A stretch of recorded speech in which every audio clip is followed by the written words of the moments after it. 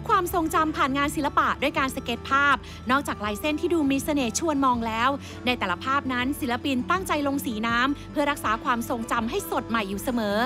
โดยนิทรรศการเส้นสด Life Line เป็นการบันทึกความทรงจำที่มีค่าขณะเดินทางไปท่องเที่ยว และเดินตามตรอกซอกซอยของ 3 ศิลปิน อย่างสมพงษ์งามแสงรัตปิติรัตยศวัฒนะ และสุภชัยวงศ์นพดลเดชาาพภูเขาทอง เสาชิงช้า วัดโพวัดบวรนิเวศราชวรวิหาร ถูกถ่ายทอดความสวยงามในอีกมุมผ่านการสเก็ตภาพ อีกทั้งมีภาพอาคารดึงความสนใจด้วยลายเส้นอันคมกริบ นอกจากนี้ยังมีภาพอาหารทิวทัศน์และผู้คนในชุมชนอีกด้วย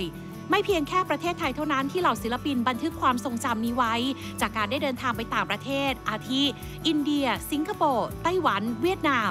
ศิลปินไม่เพียงบันทึกช่วงเวลานั้นผ่านสายตา และความทรงจำยังถ่ายทอดผ่านงานศิลปะด้วยเทคนิคที่ถนัด ซึ่งศิลปินผู้สร้างงานเหมือนได้ใช้เวลาอย่างช้าๆ สัมผัสบรรยากาศรอบตัวนอกจากนี้ยังมีศิลปินรับเชิญอย่างทิววัฒน์พัทรกุลวณิชนำผลงานมาร่วมจัดแสดงด้วย โดยสเก็ตภาพป้อมพระสุเมนรวมถึงท่าเตียน ให้ได้ซึมซับความสวยงามของสถานที่ต่างๆ ค่ะ ลายเส้นจากปลายปากกาที่ร้อยเรียงกันไปมานั้น เป็นอีกหนึ่งเสน่ห์ที่ดึงความสนใจให้ได้เดินชมผลงานอย่างเพลินตา นิทรรศการเส้นสดไลฟ์ไลน์จัดแสดงณชั้น 4 หอศิลปะวัฒนธรรมแห่งกรุงเทพมหานคร จนถึงวันที่ 28 พฤศจิกายนนี้ค่ะ